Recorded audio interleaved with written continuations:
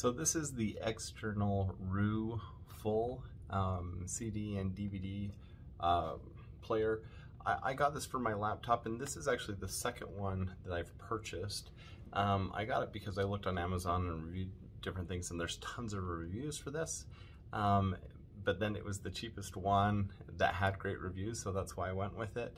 Um, the reason I had to get a second one is you'll see that on the back, you can kind of like fold down the cord and slot it in so that it will store better like that.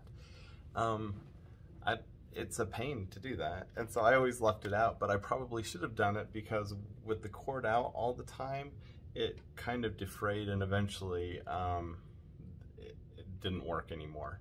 And so I was kind of rough with it.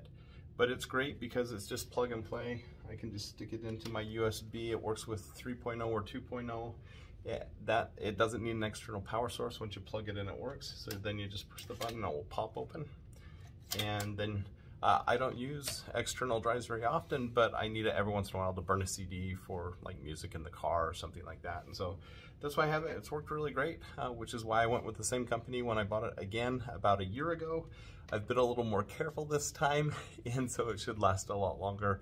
Um, but I've had a great experience with it so far. There you go.